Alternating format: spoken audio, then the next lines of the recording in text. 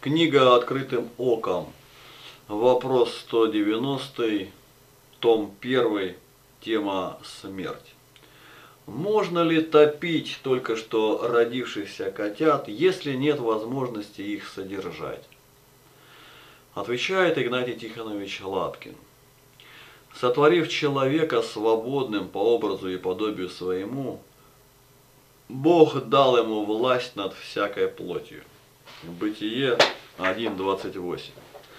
И благословил их Бог, и сказал им Бог, плодитесь и размножайтесь, и наполняйте землю, и обладайте ею, и владычествуйте над рыбами морскими, и над зверями, и над птицами небесными, и над всяким скотом, и над всею землею, и над всяким животным, присмыкающимся по земле.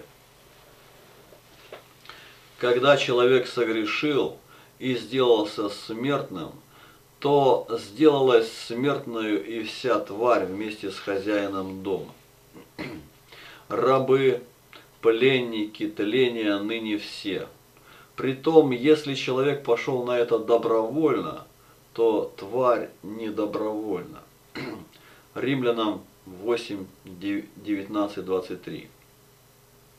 Ибо тварь с надеждой ожидает откровения сынов Божиих, потому что тварь покорилась суете не добровольно, но по воле покорившего ее, в надежде, что и сама тварь освобождена будет от рабства тлению в свободу славы детей Божьих.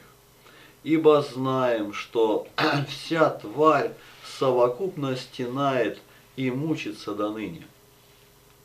И не только она, но и мы сами, имея начаток духа, и мы в себе стенаем, ожидая усыновления искупления тела нашего.